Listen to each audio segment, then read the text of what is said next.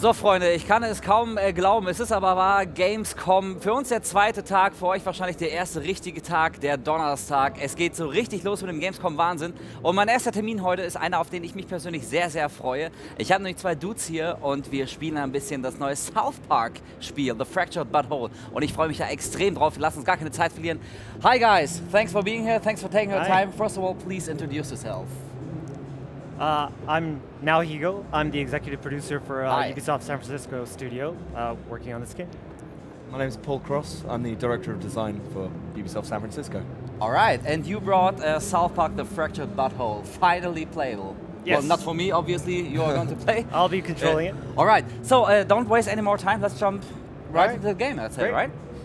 Okay, so the fractured but whole takes place right after the Stick of Truth. Yeah. So the kids were still playing uh, playing Stick at the very beginning. Yeah. But then they said, no, we're switching the game. So you, as the new kid, have been left behind in Cartman's house, and you're trying to figure out, well, where have the kids gone, and how can you join them? All right. And this is uh, some kind of uh, um, the, the default player character. I can customize my own avatar. Absolutely. As used to. Yeah, Yeah. So, so you'll be able to set them up exactly how you want. Um, in fact, this time around, you're going to get a whole bunch of uh, additional options you didn't have, including what gender. Ah, okay. Yeah, that was a, a big topic. Yes. Uh, because a lot of girls complained that they couldn't play as actual girls, right? Absolutely. Yeah. So this time around, you will. All right. All right. So we got to the. So Cartman's mom just said that they're downstairs uh, playing, uh, but there's a a pass key on Yeah. this, so I gotta enter something. You Uh, I don't know the key, so you crap donkey, Donkey. poop. poop. Nope. It could have been right. could have been right. You're probably not going to get anywhere guessing. Yeah. So, like in uh, most good adventure games, RPGs, now it's going to try and figure out where can you get the code from. Yes. So, Cartman must have it written down somewhere. Go and check out his room. It's always a good look. So there are lots of things he can interact with. So you saw him fight in the box. He's going to be able to find secrets and different little puzzles uh, Yeah. scattered throughout the world.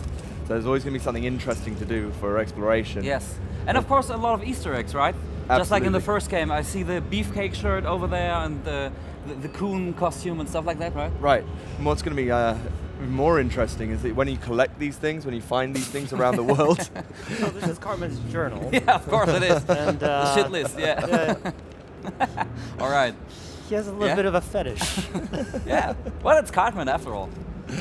Ah, yeah. So here's the key, Yes. key code. All right. So the key code is yeah. mom. now we can say it. okay, we can say it. Fuck you, mom. Fuck All you, right. mom. So- All right. It's South Park after all. we cannot mince words here. So what we're saying is, as you're collecting more loot around the world, you're going to be able to take that and then craft new items, All right. which you're going to be able to use to power yourself up. Okay. So, so instead of just having piles of stuff you don't know what to do with, they're Yeah. now going to be useful. All right. So here we go. Fuck. Fuck You. you, mom. Mom. And we're in.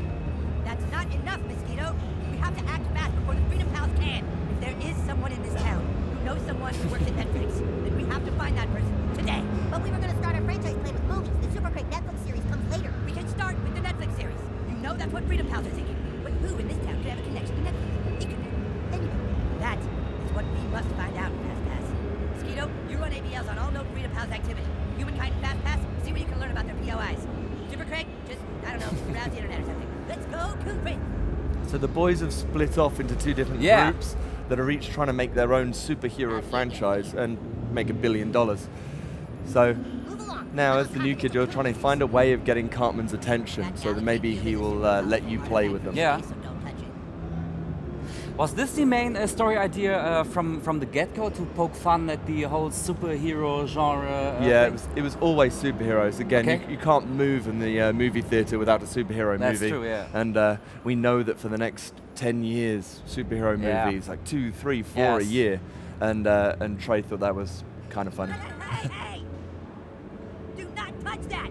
That device can blow up the entire Milky Way galaxy! Jesus, fuck! Ah! The new kid is trying to play with the cube of ultimate destruction! You be nice to all your friends, Eric. Be a good sharer. Good sharer, it'll blow up the fucking galaxy! Bitch! Look, we already told you, you can't play. You aren't a superhero. You don't have a costume. You don't have any superpowers. Freedom Pals are adding people to their franchise. We should be adding people to ours. This dork? Like, wearing a little crown? Does this look like a superhero to you? Yes, I mean just as just as little alright, boys do. Uh, Yeah. uh, very normal. yeah, obviously, yeah. Not there either, stupid. Alright, in order to play superheroes, you have to have a superhero persona. Then you can fill out your character sheet on Coonstagram. Do you have a Coonstagram page? Oh boy, you're not even on Coonstagram, huh? Well, I guess I can create one for you. So the first thing Okay, we so- Ah, on alright. character sheet is So this is the first time in the game that you're actually going to choose your class. So this is the type of character you're going to play as. So we have uh, 12 classes here. Um, obviously, the first three will be available at the very beginning. Um, but what makes it really cool is that you can become a brutalist at the very beginning of the game. Yeah. And then later on, Cartman says, oh, you can have a dual class. So you Okay. become a brutalist speedster Ah, or a alright. brutalist elementalist. Yeah, And alright. Combine the powers whichever way you want. Yeah, nice. So really make a custom class for yourself. What about you? Okay, douchebag, I cannot answer that. Ah, okay, all right, yeah, all right, okay. But we also know that it's a very, you know, highly backstory you know requested class. So we'll, we'll definitely keep that in mind. Lay awake that night, like so many other nights. You couldn't sleep because you knew you weren't like the other kids. And of course, it would be Super Jew. Yeah, obviously, of course, yeah.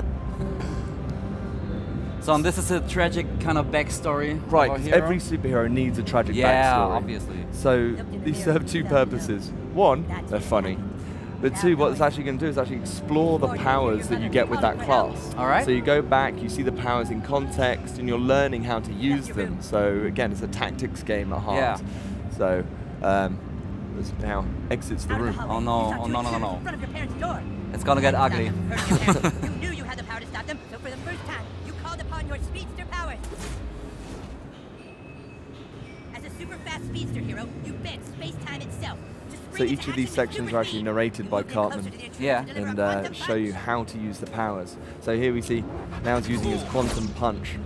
Now the combat system's been completely reinvented Yeah, since yeah. uh, since Stick of Truth.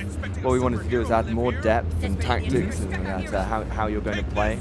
And uh, Trey is a huge board game fan. Okay. So we really sat down and talked about well, how can we create that feeling of taking turns and playing on a board Yeah. and making decisions, and while still leaving great room for comedy. And uh, so we came up with a system that's uh, it's like a classic tactics game Yeah. with a few with a few interesting twists. Was there ever any concern uh, for the um, combat uh, gameplay to get, you know, too deep, too complicated, Oh, and not well- so user friendly like in the first game? all the time. So, Yeah. uh, like, it's really, really important to us that anyone can play. Yeah. Um, you know, we want fans of South Park that don't necessarily play a lot of video games to be able to come in and enjoy themselves. Um, so, as we've been developing this, we're really looking and saying, well, how can we keep it simple, and how can we keep all those like core decisions that anyone can understand? Like, well, this guy should stay away. Yeah. That's nice and simple to understand. but we don't we don't have uh, like percentage chance of hits. So you're not going to get into a great position and then miss. Mm-hmm. Yeah. Because that's that, that, that's very frustrating Yeah, for a lot yeah. of players, especially Yeah. casual players. Yeah. Um, but that doesn't Fallout phenomena, as I call it. Right. I mean, XCOM is amazing. Yeah, it's for example, wonderful. yeah. Um, I, I'm, I'm a big fan. All the guys in the office are a big fan. But uh, I'm not going to get my casual South Park fan friend to play No, through no, XCOM. no, of course not now. So, uh, so as much as we could say we are making a game like XCOM, it's not not, not like XCOM, not yeah, like yeah. XCOM. Yeah. So, whilst retaining those same things, of I want to worry about where I position myself. Yeah. I want to worry about which characters I'm using and the class setup and uh, how I how I level up. But then Yeah. you finally reached your parents' Oh no. And what you saw when you opened that door changed your life and led you to fighting crime. You were too late. Because when you opened that door, you saw. You saw your dad. fuck your mom. Of course. of course. Something we can all relate to. Pretty heavy We've all been there. That's You fight truly tragic, yeah. never forgot the night you weren't in time. Some things cannot be unseen. crime, and you trusted no, not at all. It's like a ripple in time you can't ever change, isn't it? All right, now you need to go out into the town and do superhero stuff. You know, help people and fight crime and duck shit like that. There's So that'll be your first encounter with that backstory, and as you Yeah. travel through the game, exploring different classes, that will be more fleshed out more and more and more, Okay, so you all right. understand truly what happened to drive you to become Yeah, the now. all right. superhero Stop playing with us of the game. So for the sake of a demo, we then skip later Yeah, into okay. the uh, Mhm. later into the uh, product, into the game. Um, oh yeah. So onto Main Street. Uh, in this in this version, you can't go into the, all the buildings. You're going to be able to go in. Ah, We've got all kinds Cool. of different ways of exploring, and one of the things we do is we actually get buddy powers. Yes. So this one we see here is called Fart Core. so you and uh, Kyle, the human kite, Yes. being able to fly and reach different inaccessible That's parts of the areas. So you're going to find these puzzles, you're going to find secrets and Yeah. jokes and other challenges all throughout the world, And some collectibles, I guess, like ditching Pokemon in the first game. like Chinpokomon. Like, yeah. Absolutely. All right. Again, can't tell you what it is, but uh, but it's funny. Okay.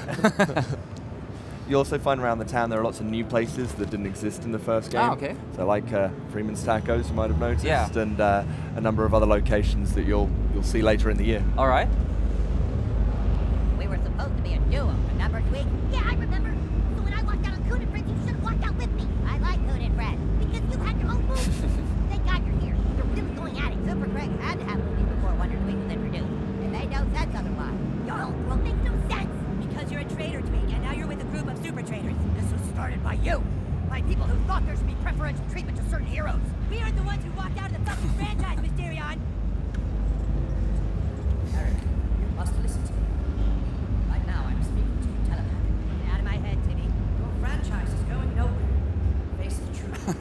you guys are kind of douchebags. You just called us douchebags in my mind. He did? All right, you son of a bitch. Ah!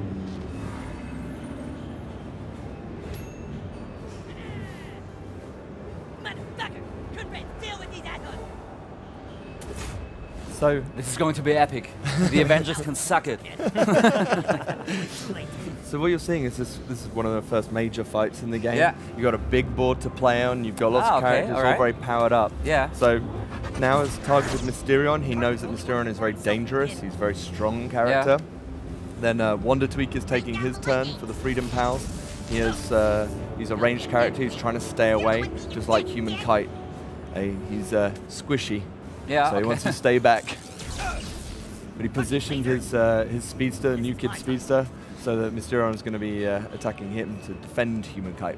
So I have more depth, uh, uh, depth as a player, but I cannot truly screw up in a fight. I don't have to do some s- Alright, my turn. special, Right. specific moves in order to win. You don't have to do specific uh, specific moves in order to win. Now you're going to need to pay attention. Yeah, It's- obviously, It's, yeah, it's a game. Yeah. Um, but uh, we, we're trying to find that nice balance Yeah. between. If you're just kind of you know, not playing properly, and not really paying attention, you Yeah, may. well, then- Fuck you, dude. Civil War dick. And again, you know, the, the kids are playing in the normal world. Yeah. And so things like that happen where it gets interrupted. You know, just like when you were kids and playing on the street. Yeah. A car come by, you gotta. we all you can relate. Yeah. Yeah.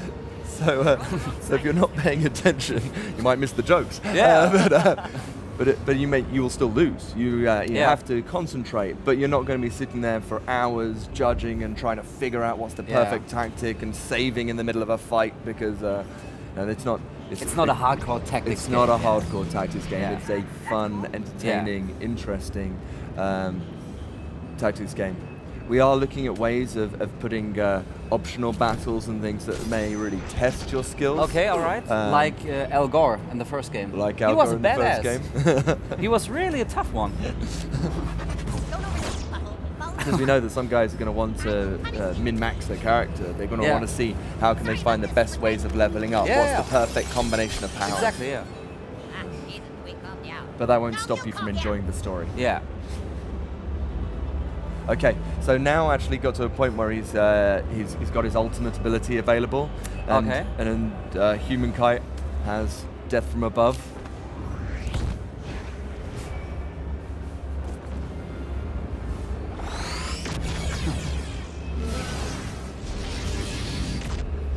Okay, that's kind of overkill. it's kind of overkill. We amped it up for demo purposes. It's a nice All right. finish. but they are. Um, so when you earn them as you're playing, as you're playing well, you'll uh, be able to wipe everyone out. yeah. Come on. Oh, what happened? Timmy got away. He completely raped my mind. You okay? No, seriously, you guys. You fucked the shit out of my brains. Uh, I grabbed him. We fought for a little bit, but his, his mental powers are too strong. So we did all that for nothing? Not quite. I got Timmy's cell phone. You did? There's sure to be a lead on that. Let's get this back to base. Super Craig can analyze it. Oh no! You'll have to wait a few months before you can uh, see the rest. ah, god damn it. That looked really, really funny, guys. Uh, one last question, maybe. I have to ask it. How was working with Trey and Matt? Brilliant. Brilliant. It's, uh, I mean, we, we, we talk about the fact that uh, we were both South Park fans, uh, about most of the team, where we've grown up with it. And it's been Yeah. 20 years of South Park, and uh, just jokes from the show, just they're, they're in our everyday speech. We talk Yeah. to each other, we make jokes uh, based off the based off the show. So, so to be able to sit down with them and actually help shape uh, shape shape a game with them is has been phenomenal. And they trust you, obviously, because uh, South Park is kind of a, a big deal, you know? Absolutely. You, can't let anyone uh, mess around with that. and it's you know it's something that they've been passionate about that Yeah. that whole world you know they, it's it's them it's them and so uh, you know it, it definitely took us uh, a long time to forge that relationship and make sure that they entrusted you know Mhm. they entrusted us to actually turn it into the game but it's been a great relationship and uh, we could only do that by you know engaging with them on a daily Yeah. basis and it's really been fantastic as a result Well, it's gonna be a treat for the fans, I guess, the game. All right, guys, thank you very much. Can I, uh, can you leave this build here for me to Uh, play it again no, and again and again, maybe? maybe. Yeah, we're gonna talk we'll about talk it. about it later uh, thanks again, guys. It was very, very fun. I'm looking forward to it. Ja, Leute, das war South Park The Fractured But Whole. Ich weiß nicht, wie es euch geht. Ich bin richtig angefixt. Ich habe richtig Bock auf den Scheiß. Ähm, ja, bald kommt's raus und wir werden auf jeden Fall noch ein paar Mal drüber berichten. Tschüss.